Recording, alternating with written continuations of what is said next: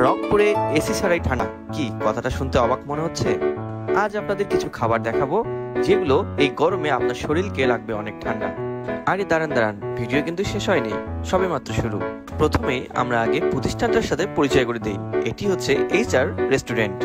ভেতরের পরিবেশটা অনেক সুন্দর না? ওই যে আমার ছোট ভাই বসে আছে, খাওয়ার জন্য। আজ ওর বায়না ঠান্ডা ছাড়া কিছু খাবে না।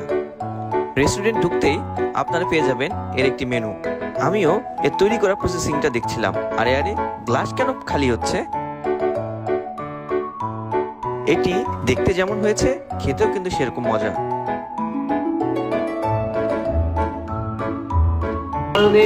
থেকে অর্থাৎ হচ্ছে লাচ্ছিদের বিভিন্ন ধরনের ভ্যারাইটিস আছে এনা- এনাদের এখানে। তো আপনারা কিন্তু আপনারা চাইলে পছন্দ অনুযায়ী ভ্যারাইটি দিতে পারেন। আর এটা যে টেস্ট এটা টেস্টটা অন্যান্য কমন লাচ্ছির থেকে একদম আলাদা।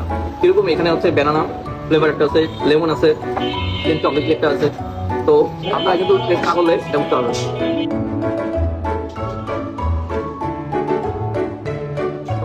এই গরমে যদি বাবল মিল্ক শেক হয়, তাহলে মন্দ হয় না। আজকে আমরা চলে যাচ্ছি এইচ আর এক্সপ্রেস অর্থাৎ জুস এখানে। তো আমরা একটা, এটা অর্ডার করছিলাম বাবল মিল্ক শেক এটা প্রাইস হচ্ছে একশো বিশ টাকা। তো এটা আমরা একটু ট্রাই করে দেখি।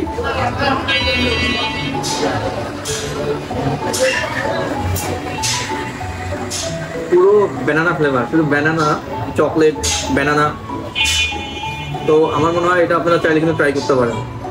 আমার কাছে কিন্তু বেস্ট মনে হয়েছে। এই গরমের দিনে আমার মনে হয় এটা একটা বেস্ট ফুড হইতে পারে আমার কাছে। এটার একটা বিশেষত্ব আছে, সেটা হচ্ছে এখানে কিন্তু বাবল আছে, এই নিচে।